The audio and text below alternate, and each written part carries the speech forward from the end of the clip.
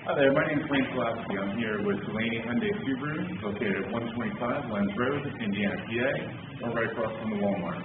Today I'm going to show you a beautiful vehicle we have. It's a 2011 Subaru Legacy. Just under 52,000 miles. This is going to be your 2.5i model with the caramel brown color. Absolutely beautiful vehicle.